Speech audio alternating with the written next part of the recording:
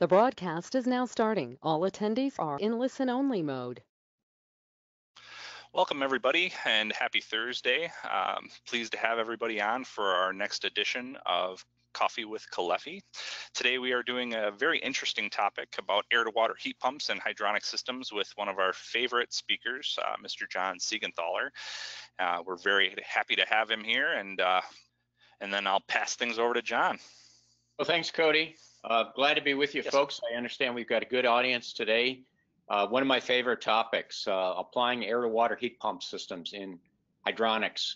Where do where do heat pumps and hydronics intersect? Well, obviously today we've got geothermal water-to-water heat pumps. Uh, they work well. There's a lot of them out there, uh, but keep your eye on the air-to-water market. I think it's going to be a, an expanding market, and we're going to talk about the, the technology behind it today, and we'll also take a look at some market factors that point to uh, increasing market share for this. So we'll start off with what's going on with an air-to-water heat pump. Well, any heat pump takes low-grade heat from some source. It could be outside air. Uh, in the case of geothermal, obviously it could be the ground, a water well, a lake, but it's low-grade heat. It's it's heat at a temperature that would not be useful for space heating or for uh, domestic water heating. And what the heat pump does is it brings the temperature of that heat up to a point where we can use it for space heating and domestic water heating. So in an air to water heat pump, uh, in the heating mode of operation, we're starting with an air handling section up here at the top. We have a fan and an evaporator coil. Uh, we're sending outside air through that coil. The refrigerant in that coil is several degrees colder than the outside air, even when the outside air is below zero degrees Fahrenheit. Uh, the latest air source technology can still extract low grade heat from that very cold air.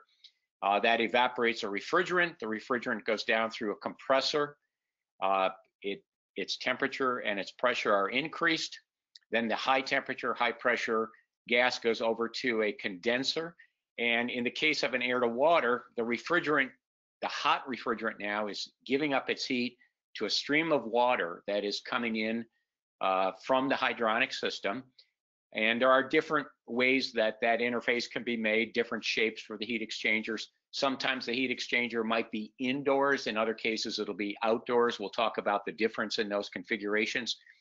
But essentially, we're handing off that high grade heat to a stream of water. And from that point on, anything that we can do with modern hydronics is, is, a, is a possibility. And then finally, the refrigerant, after it's given up its heat, it goes through a thermal expansion valve that drops its pressure and its temperature, and it goes back up to the evaporator for another pass. In the cooling mode, it's a similar idea, except we're extracting heat from a stream of water, again, coming from the hydronic cooling system. We're going to use the uh, refrigerant to absorb that heat. We'll send the refrigerant through the compressor. Uh, the reversing valve is basically what controls which direction that refrigerant goes between the heating mode on the left side of the screen here, cooling mode on the right, and ultimately we're going to dump that heat. Uh, in this case, we're dumping it outside through the uh, coil up at the top of the unit, and again, a fan that's bringing outside air through. There are some air-to-water heat pumps that have other options, such as dumping that heat into a swimming pool or even putting that heat into an auxiliary load like domestic water heating rather than simply uh, throwing it away to the outside air.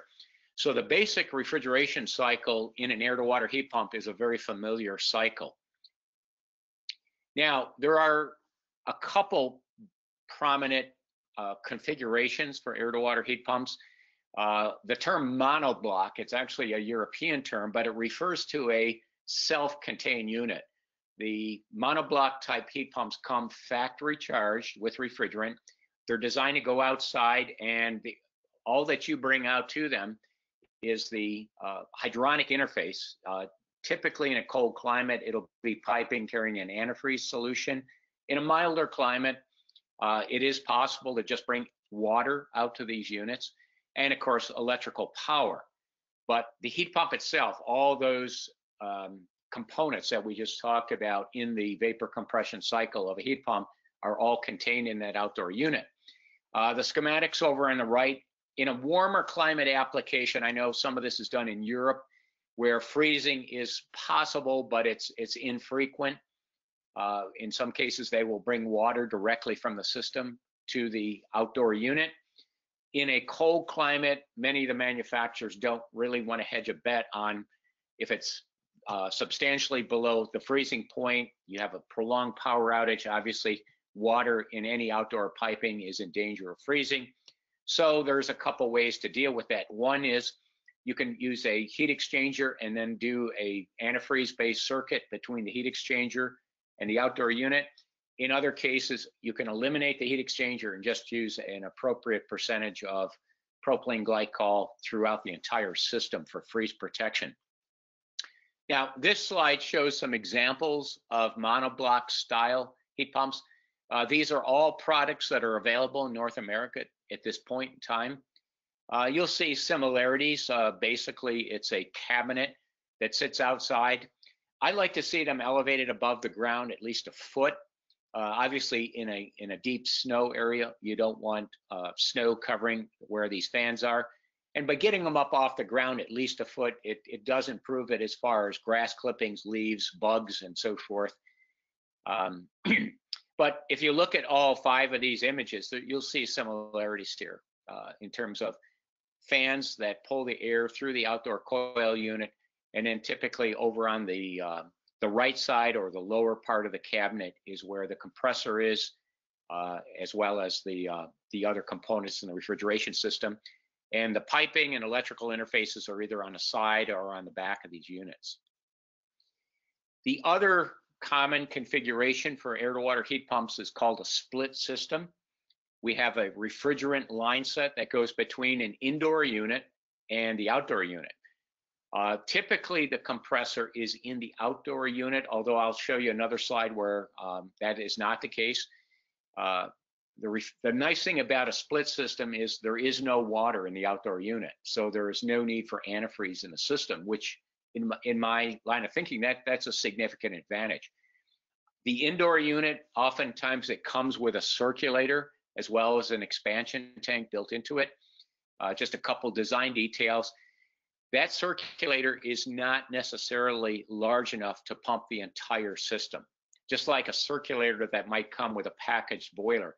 The assumption is that that circulator is going to take the flow through the heat pump and get it to some type of an interface, either a buffer tank or perhaps a hydraulic separator. And from that point out, another circulator will take that fluid through the system. Same thing about the expansion tank.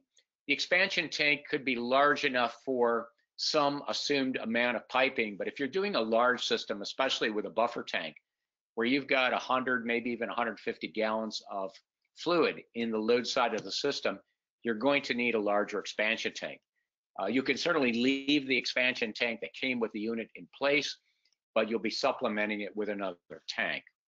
So again, uh, split systems uh, are available from several different manufacturers. Now, I put this one in. This is a manufacturer up in Canada, Nordic Heat Pump. I put it in just to show a variation on a split system. In this particular unit, the compressor is inside. Uh, there is a DX or a refrigerant line set to the outdoor unit. And really the only significant or large components that are in the outdoor unit are the outdoor coil, which would be the evaporator in the heating mode, and the fan. By moving the compressor and the electronics and some of the other components inside, you're bringing it into a, uh, a more serviceable, uh, service-friendly environment and uh, the likelihood of the compressor lasting longer is improved there. So it's a similar configuration, just uh, a difference in, in where some of the components are located. So let's talk a little bit about performance on these units. Okay, here's the uh, very simplified diagram of what's going on pretty much in any heat pump. We have low temperature heat starting over here on the left being absorbed uh, again, with an air to water, it's, it's going to be coming from outside air. Uh, so that's our significant low grade heat input. We certainly have to have some electrical input to operate the compressor. So we have two inputs here, Q1 and Q2. Basic thermodynamics, you add the two inputs together, and that gives you the total heat output Q3. And then the the index that is used to judge the performance of just about any heat pump is called the coefficient of performance, uh, abbreviated COP. It's the ratio of the output energy, which is the useful product of the heat pump, divided by the electrical input. The higher we can get the coefficient of performance, the more energy we're getting per kilowatt hour of electrical input. So it's desirable to maximize the COP and one of the ways we do that is by creating a, a, very compatible balance of system that can operate at relatively low water temperatures. So when it comes to interfacing to a hydronic distribution system for heating, the lower the water temperature is, the better that heat pump's going to perform, the higher the seasonal coefficient of performance is going to be. Okay. So basic way to think about coefficient of performance or think about what a heat pump is doing, uh, I call it temperature lift. We're basically taking heat from outside air, free heat, and we're lifting the temperature to some useful value that we can use for our load, either space heating or domestic water heating. The greater that temperature lift is, the lower the coefficient of performance, or stated in reverse, the smaller we can make the temperature lift, the higher the COP of the heat pump. So obviously we can't do much to change the outside air temperature, but as designers, we can affect the water temperature that our distribution system operates at. And we're gonna we're gonna dive into that a little bit, a little more later. Now the same thing is true in cooling mode. We have a temperature lift between the chill water and the outside air the, the smaller that temperature lift, the, the higher the performance of the heat pump and cooling. And we measure that by an index called energy efficiency ratio, EER. Uh, the European market, they'll sometimes refer to this as the cooling coefficient of performance versus the heating coefficient performance. In either case, the, the smaller the temperature lift, the better the performance of the machine. Again, we can't change the outside air temperature, but anything we can do to bring the chill water temperature up a few degrees, we still have to retain good moisture removal at, at a coil. So we can't we can't necessarily get up into the uh, maybe into the 60 degree temperature range, at least as a starting temperature. But if we can operate our coil at 50 degrees, entering chill water temperature versus a 45 degree chill water temperature, we're going to see an improvement in the energy efficiency ratio. Okay. Now, one thing that happened earlier this year is that the uh, EPA recognized air to water heat pumps as what's called an emerging technology, and they awarded it the Emerging Technology Award. Um, I'll admit I don't know a lot about this award, but I was certainly glad to see that air to water heat pumps are on the radar at the EPA. And over on the right there, they've given you some uh, indications of what performance level they're looking at. And those are uh, that that heating COP of uh, 1.75 at an outdoor temperature of, of five degrees Fahrenheit. Uh, many of the products that are in the market now can equal or exceed that performance rating. So um, where this leads in the future, I'm not sure, but if you want to take a look at that website there, uh, that can give you some more information. So, uh, it's certainly favorable that, as I say, that uh, this technology is on the, the radar at the federal level at this point. So that leads us up to our first poll question. Are you Perfect. planning to use an air to water heat pump in the upcoming installation over the next 12 months? And it looks like we've actually got a surprising amount of yeses here, John. Um, we've got 45% saying yes, 55% saying no. Okay. That's a That's good pretty start. promising. Yeah, that's That's very promising. Yep. Uh, may, maybe we can make that yes column go up a percentage point after the end of this. let's hope so. Um, so uh, what's going on globally with the air to water heat pump market? Uh, there is a publication that comes out of Japan uh, called JARN.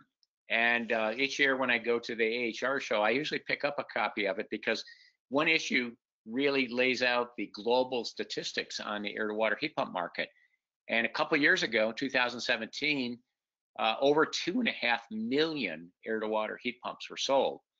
And the, breakdown, the largest market by far was China. I think about a million air to water heat pumps went in, were installed in China in 2017, uh, Japan, and then Europe uh, coming in at around 11%.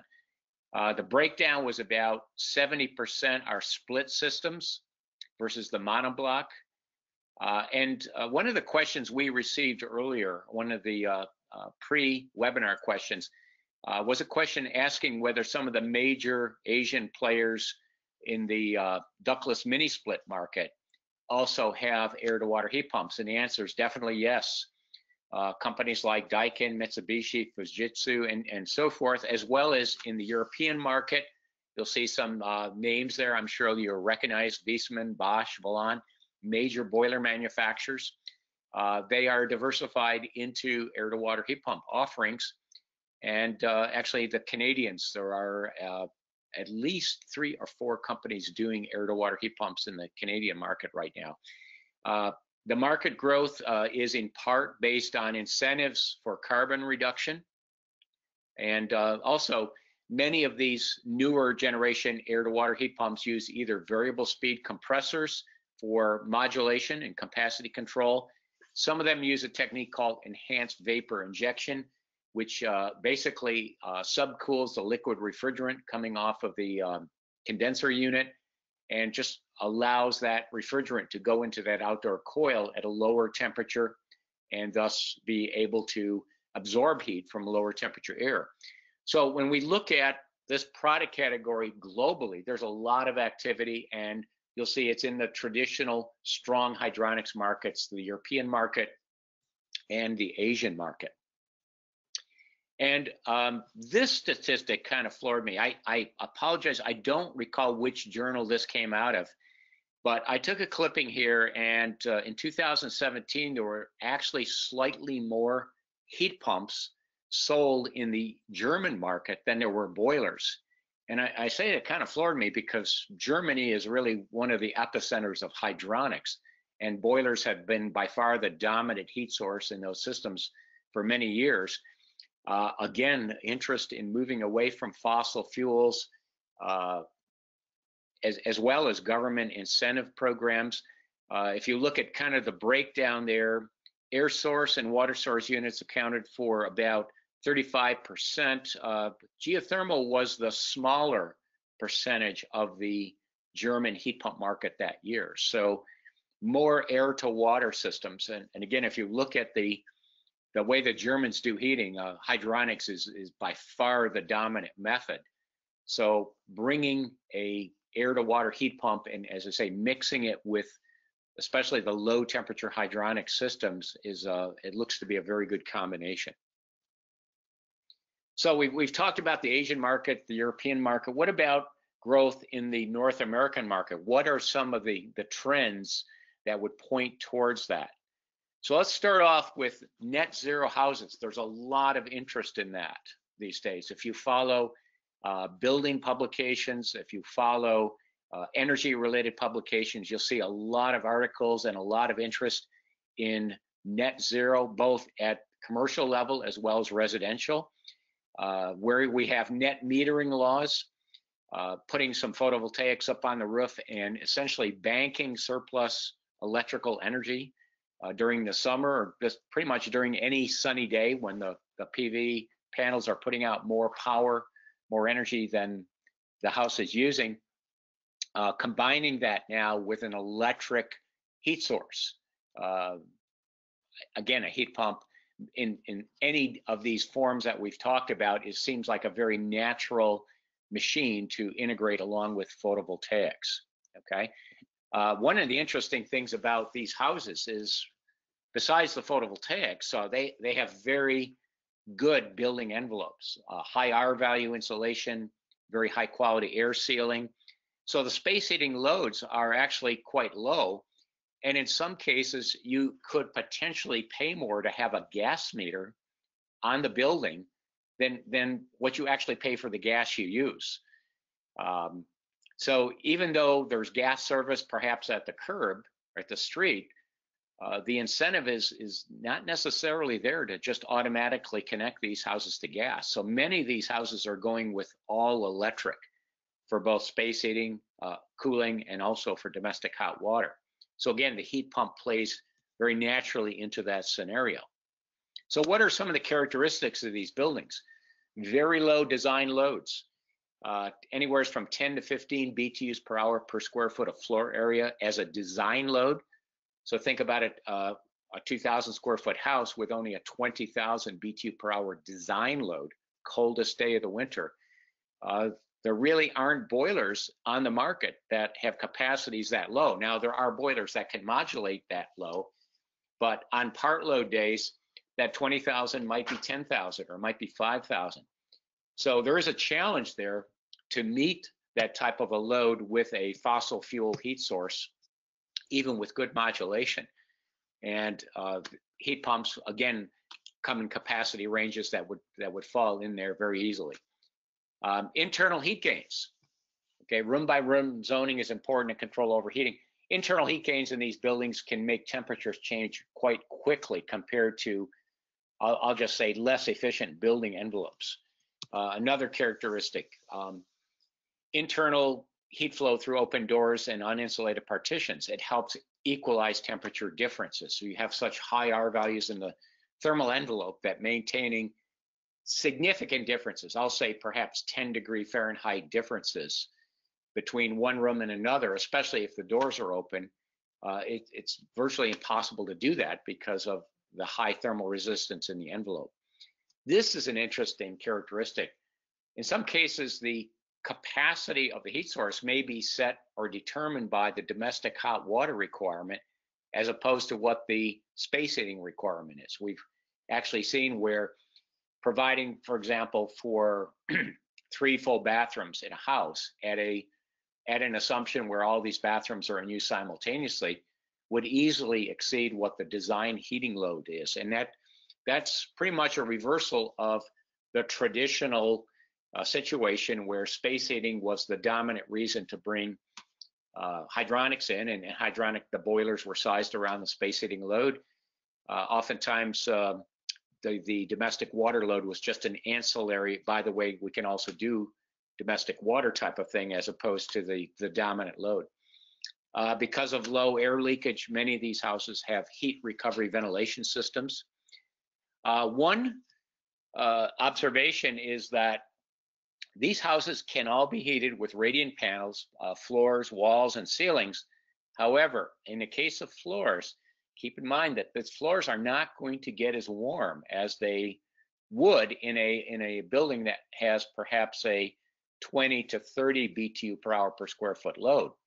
Uh, oftentimes, the surface temperatures of these panels will only be in the low to mid 70 degree range. Now that's not a problem from a performance standpoint. That's actually really good for the heat pump.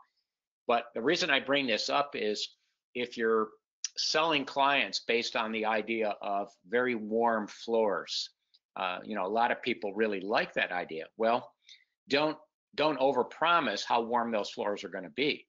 The floors will only get as warm as they need to to satisfy the thermostat. So we're we're meeting our load requirement, uh, but if somebody expects the floor to be 85 or 90 degrees Fahrenheit, as it would perhaps 20 years ago in a, in a more uh, energy wasteful building, uh, that's just not going to happen with these types of buildings. Uh, I mentioned it was difficult to find combustion type heat sources uh, that are well matched to this load. Uh, definitely would uh, require a buffer tank if you're oversizing or just picking the smallest available boiler. Uh, I mentioned monthly gas uh, service charges. The, if you will, the meter rental for a gas meter uh, could be a very significant part of the total bill. It might even be more than what the total gas uh, consumption is. And because these are, they're going for net zero, they have to produce as much energy as they use. And really the only practical way to do that is with solar uh, PV up on a roof. So you'll see a strong trend for all electric uh, houses. And here's an example, uh, this one builder out in the Seattle area. Uh, just some of the statistics on these buildings. Uh, they're built with structural insulated panels, so think eight inches of foam in the ceiling, probably at least eight inches, maybe more than that. Uh, very high R values, low air leakage rates. And you'll see down here in the lower right corner, there's an air to water heat pump as the uh, heating and cooling source for that building. Uh, and a 9.5 uh, kilowatt photovoltaic array is the, uh, the electrical generation for that system.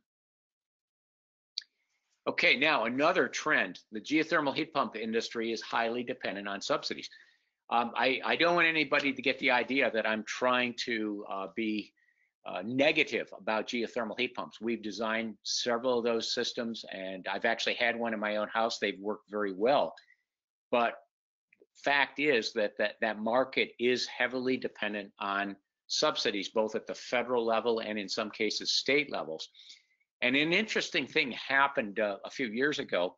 The original tax credits that went into place in 2009 expired at the end of 2016. And during that time, uh, during the next year, 2017, the US ground source heat pump industry went down about 50%. And that was actually cited on the geoexchange.org uh, newsletter. So uh, a significant drop in the market share. Now, that's the bad news for the geo industry. The good news was that back in 2018, in February, there was a uh, massive spending bill that went through Congress. Um, there's a picture of what it looked like. I forgot the actual name of it. I think it was over 2,000 pages. And not only did it uh, reinstate the tax credits at the same 30% level, it made that reinstatement retroactive back to the actually the day after the original credits expired. So that was uh, that was a day when the uh, the geo industry probably broke out the champagne.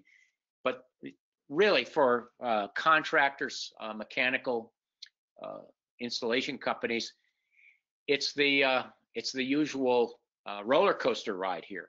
you have a heavily subsidized technology, and that can certainly support a market but when the when the subsidy gets pulled and it's it's starting to expire actually at the end of this year is when the federal tax credits on geothermal heat pumps transition from 30 to 26 percent the following year 22 and then they're then they're gone assuming nothing changes at the federal government uh, so it's going to be a challenge for the geo industry to uh, uh, readjust as they go through less subsidies uh, for their product. And several of those companies uh, do understand the reality of that, and they do uh, offer or will be offering air to water heat pump systems as another product category. Now, um, air to water heat pumps are significantly less expensive to install, and it really comes down to the, the earth loop. Uh, there are many different ways to put earth loop systems in. If you happen to own several acres of land and uh, you have an excavator available, you can dig up and put the uh, put the piping in, create horizontal earth loops. If you're in a much smaller lot, maybe in a suburban lot with half an acre, and you have uh, granite under you, it's going to be a very expensive operation to drill down through that granite and put in vertical earth loops. Uh, in my area, just doing some price estimating, uh, vertical earth loops run about $3,000 per ton, and that would that would include the uh, boring and insertion of the pipe, and then regrouting. It does not include uh, the headering of the system, as you see in that photo up here. These are actually vertical boreholes with the uh, vertical tubing coming up, and you'll see they're fused into headers. Well, you obviously you have to dig the trench for that back to the building you have to buy the pipe you have to fuse together the joints and so forth so the earth loops can get expensive depending on again land area and what what's the practical technique some cost estimating that we've done for a, a given capacity geothermal system in our area if the cost was x uh, we're finding that an equivalent capacity air to water system would run anywhere from about 30 to 50% of X. So substantially less expensive. Uh, nothing really changes inside the house as far as perhaps a hydronic radiant panel distribution system, what changes is you're setting a condenser unit uh, either on a rack or in some cases perhaps even on um, a frame that attaches to the building as opposed to bringing in an excavator and tearing up the landscape and so forth. So the cost of the earth loop makes a big difference. And uh, if it's an existing lot, uh, perhaps it's been landscaped, uh, we've got a lawn, we've got trees, uh, certainly we've got, in some cases, uh, utility lines, we've got septic systems and so forth. Uh, we've got to be careful how we're digging, and you can see a major disruption there to the landscaping. And that really needs to be factored in to the cost of the system. Uh, in the lower left here, you see a, a nice lawn that's been uh, dug up to put that piping in. Uh, nothing wrong with doing that, but certainly that dirt has to be put back in. It has to be graded. It has to be seeded. Uh, those costs should all be factored in realistically because they're they're simply not there with an air-to-water heat pump. Uh, if you've ever witnessed vertical borehole drilling, uh, it's interesting to watch. And you can see by these uh, these fellows uh, on the rig up there, um, you're not going to go home with clean clothes at the end of the day. It's it's a pretty uh, messy process. The tailings that come out of those boreholes really need to be moved off site. It's not something that you can just rake it off and throw some grass seed on it. Um, so there are definitely these uh, these extra costs associated with basically digging up the ground, putting the pipe in, and then you know, re, um, reestablishing it back to the original condition. Now, going back to our uh, net zero houses, as home space heating loads get smaller, the domestic water heating load becomes a higher percentage of that total load.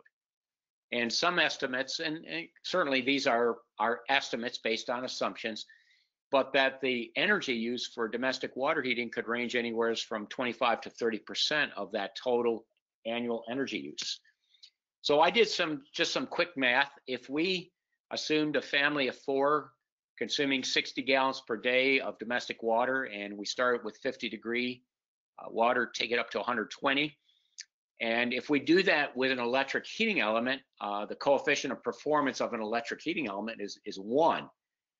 If we did that with a heat pump and we could assume an annual average coefficient of performance, now this would be between winter and summer. It includes all 12 months of the year. And of course, these machines in warmer weather really produce some high COPs. You can be up in the four to five COP range in, in warm conditions. Uh, so on average, if we assumed a, a 2.5 COP uh, was providing that water heating, in an area that was 12 cents a kilowatt hour, we'd be saving a, about $270 a year just in domestic water heating. So domestic water heating or preheating is a significant uh, load that we want to tie in, in many cases, using an air to water heat pump. Now, another uh, situation, the COPs that are cited for some geothermal heat pumps do not include the power to run the circulators in the earth loop. And I put this in, this is a product that's available.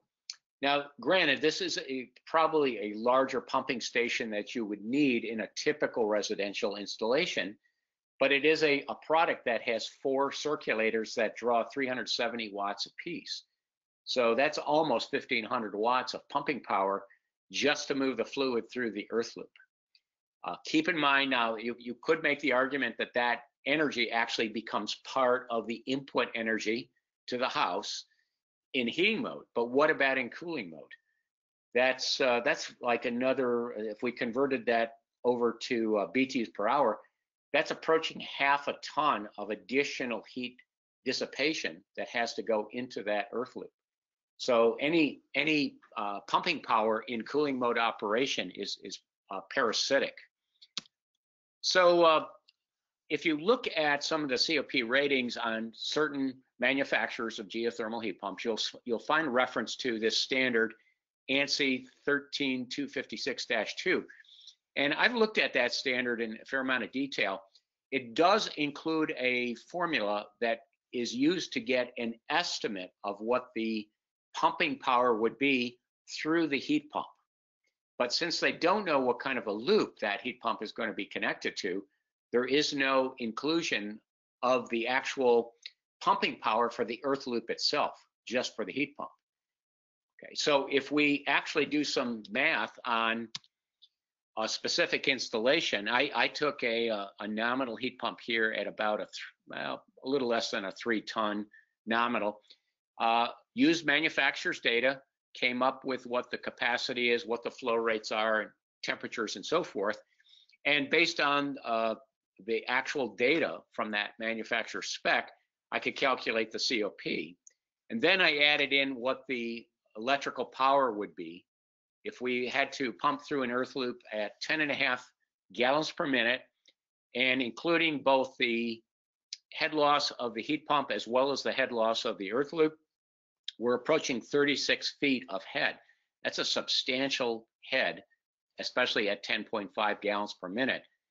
So uh, backing that up through a wire to water efficiency in the circulator, uh, we're looking at about 287 watts of pumping power there, okay? So this COP is calculated only for the heat pump. We took the heat output and we divided it strictly by the electrical power input to run the heat pump. Then the next calculation, that includes the power not only to run the heat pump, but also to maintain circulation in the earth loop and uh, you can see the COP drops from about 3.4 down to 3 point, just over 3. So that's uh, significant. It's about 11 degree drop in COP. And I, I'm a strong believer that any ancillary cost associated with running any heat pump should be included because the owner is paying for that.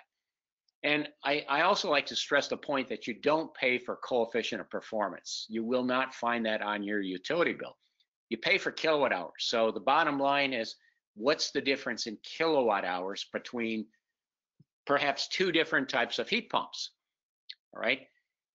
And again, I did a thumbnail calculation here. If we took a house in, in upstate New York in Syracuse with a 36,000 BTU per hour design load, uh, and we looked at a couple different COPs, okay? Uh, the 2.8 would be for a um, air to water unit, and the 3.28 would be for a geo unit. Now, again, you, you could say, well, I think my heat pump will be higher than 3.28, and it could be. Uh, you could say the air source may not average over the winter 2.8. It might be more like 2.5 or 2.6. My point is you can you can make adjustments in these numbers. The formula that's there though is, is very helpful. If you at least estimate seasonal average coefficient of performance for the entire heating season for any two heat pumps, and you want to see what the savings are, use that formula. Uh, in this case, the savings of using the higher COP geothermal heat pump over the air source was about 2.6 million BTUs per year. And if we assume that is coming from electricity at 13 cents a kilowatt hour, the math is fairly easy here. It's it's roughly $100 a year savings. So saving $100 per year is is you know it's not insignificant. The question is, does it justify the cost of the earth loop?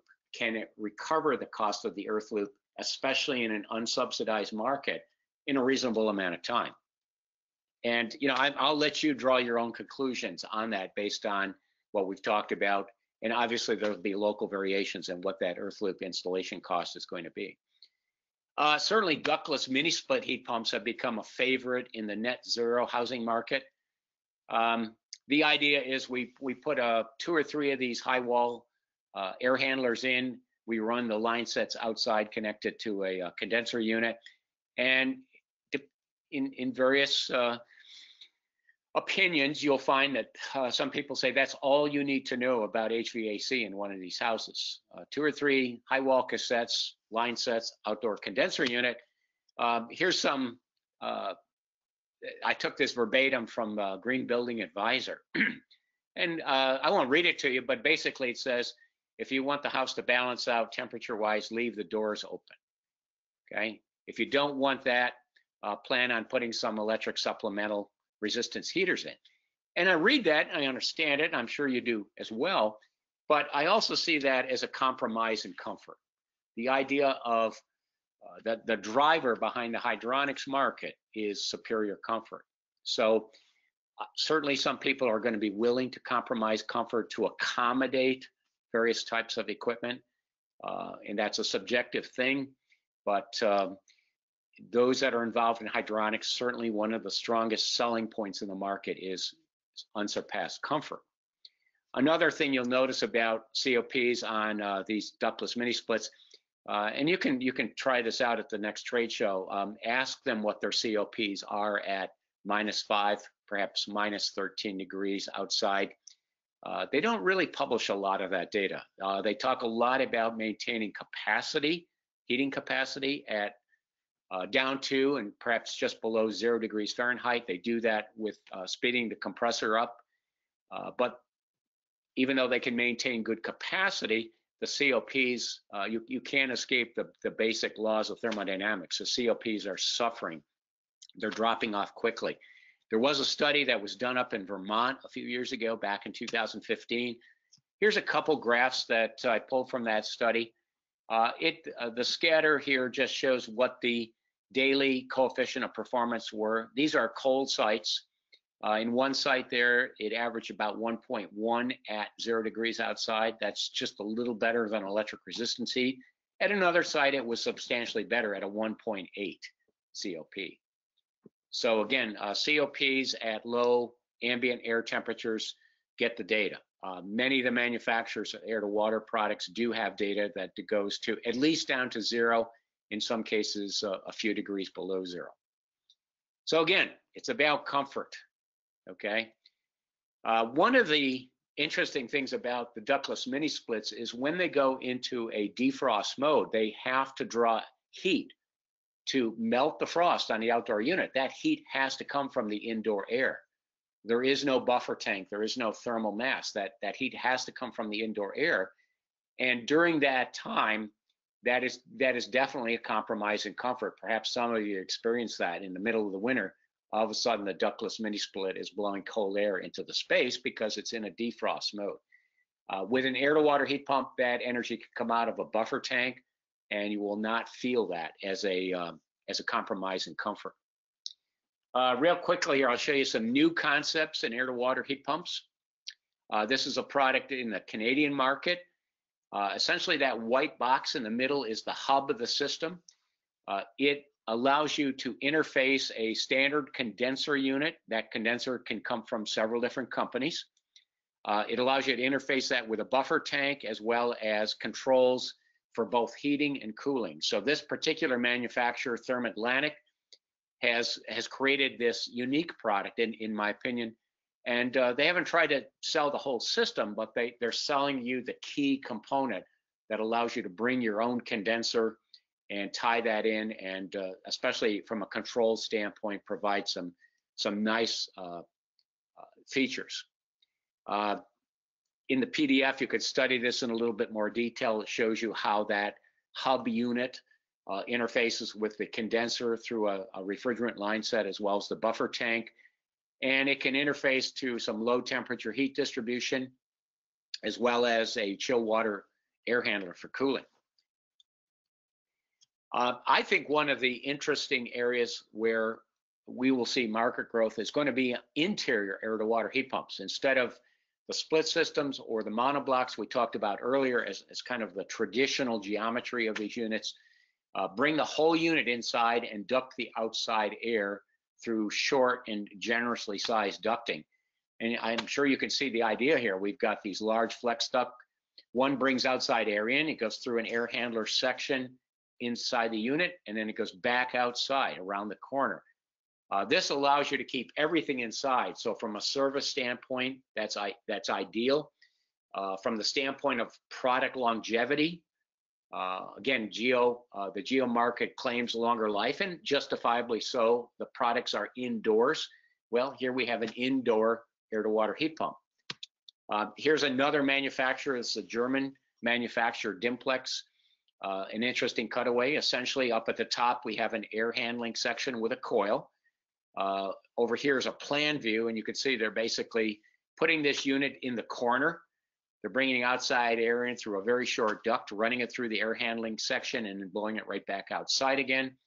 and then the water and refrigerant circuitry, the compressor, the buffer tank, and so forth are all integrated into the lower portion of that unit. So it's it's a uh, special subset of air to water heat pumps. Uh, I think it has a lot of advantages. Would love to see some more product in the North American market like that. Now, thermal performance. Uh, quickly, we look at thermal performance with any heat pump. As the outdoor air temperature goes down, the heating capacity goes down, and so does the coefficient of performance. The two lines that you see here, the two curves, uh, the blue one is for a very low temperature heating distribution system where the water temperature leaving the heat pump is 95 degrees. You'll see that capacity goes down at 131 versus uh, um, 95, and you'll see a major hit in COP. So again, low temperature performance is really important. In cooling, it's the opposite story. The, the warmer the chill water temperature can be and still do moisture removal at the core, at the coil rather, the better the performance is going to be. Uh, with an air source heat pump, capacity drops with outside temperature. Of course, heating load goes up. We have this point in the middle called the balancing point. At that point, in theory, heating capacity of the heat pump's exactly matched with the heating load. If we go to colder temperatures, we have to supplement. That's what this orange area would represent. I've got down a boiler supplements it. It could be anything, doesn't necessarily have to be a boiler. And then at some some heat pumps might shut off at a certain outside temperature. I'm making the assumption in this graph that the heat pump shuts off at zero. Uh, many of the low ambient units today can go lower than zero, as low as minus 22 in, in some specifications. Uh, but if the heat pump does shut off, the boiler would assume all the load. Um, I'm going to skip a few slides. I'm looking at our clock here, and I know we don't have a lot of time left.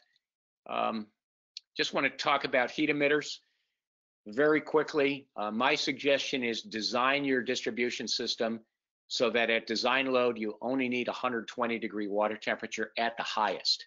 And there are many heat emitters out there that you can use, uh, certainly radiant panels, uh, as well as some of the high output baseboard uh, or some panel radiators, especially panel rads that have uh, some low power fans built into them. These types of products are ideally matched with uh, these heat pumps. What you don't want to do is simply take out a boiler from a baseboard system that may have been sized around a water temperature of maybe 180 degrees, drop a heat pump in of any sort and assume that everything's fine. They just do not operate at those high temperatures. So uh, you you can do a couple things. You can either reduce the load to bring the water temperature down, or you can add heat emitters. Uh, Idronics 25, let me just go back there for a second. Idronics 25 goes through this in great detail. There are formulas and a much more detailed discussion of what you can do with an existing hydronic system to bring those water temperatures down. Uh, real quick, we'll go to poll question number two. Uh, so I'll let you Yeah. take that. Perfect. Thanks, John. Yeah, our next poll question, just a quick question here. Do you think that air to water heat pumps are applicable in your market? And the poll comes in at 85% saying yes. That's, uh, again, a pretty surprising one with only 15% in the no column. So, Great. Okay. Um, I'm just going to point out that in the PDF file, uh, you can take a look at some of these case studies. Uh, this was a retrofit of a, an older house in the Boston area where an air to water was added and they supplemented the existing heat emitters. There were a baseboard in there. They supplemented it with fan coils and some panel rads. Uh, they tied domestic water into it. Um, there are some other schematics in here. Here's a uh, reverse indirect tank that is buffering both the heat pump as well as uh, providing a domestic water preheat function and uh, a small electric tankless water heater is doing the top off on the domestic hot water temperature. Uh, in the PDF files, there's a full description of operation. There's some electrical diagrams in there. A couple other systems, real quick. Uh, here's one that is doing heating with radiant panels and cooling with zoned air handlers. And a common buffer tank is being used for both. Uh, again, here it is in the cooling mode. And there is a full electrical control schematic and description of operation. And I'm pretty sure that's it for today. So we appreciate your guys' time. And if there's any questions, don't hesitate to contact us and uh, have a great rest of your day. Thanks, John. You're welcome.